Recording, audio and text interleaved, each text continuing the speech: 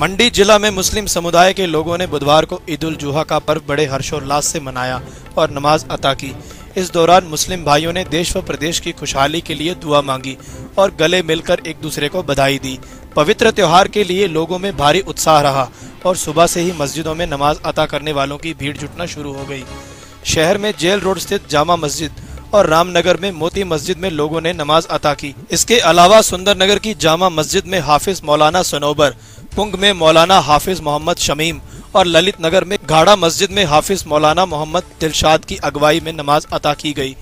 खुशी का ये समा पधर में भी देखने को मिला, जहाँ मुस्लिम भाइयों ने एक दूसरे को गले लगाकर बधाई दी, जहाँ ग्वाली में भारी संख्या में लोग जुटे और नमाज़ अदा करने के साथ अल्लाह से वतन की खुशी के लिए दुआ मांगी।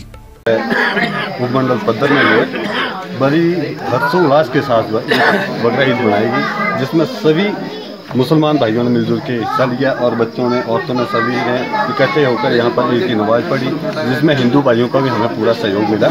और ईद के बाद, ईद की नमाज़ के बाद जो है, दुआएँ मांगी गई, देश की तरक्की के लिए उन्नति के लिए और रखवाली के लिए।